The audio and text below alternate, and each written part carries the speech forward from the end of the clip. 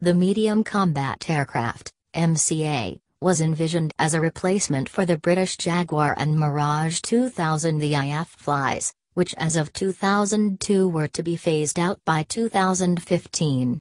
Development costs were expected to be over 2 billion US dollars.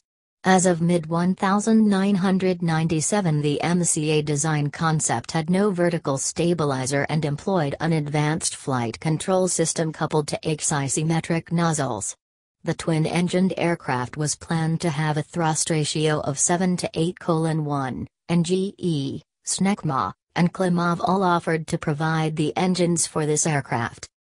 Reports are emerging that LCA Tejas Mk2 will now be classified as medium-weight category aircraft and will be associated with MCA, Medium Combat Aircraft, acronym instead of Light Combat Aircraft, LCA which has been synonymous with India's indigenous fighter jet program.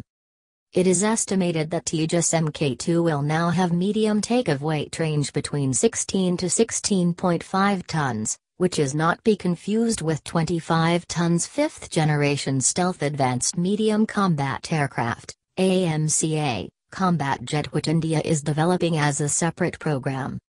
IAF which intends to procure 201 units of Tejas Mk2 when it is ready, has asked for an aircraft which can fill in the shoe of now retiring MiG-27 and Jaguar fighter aircraft.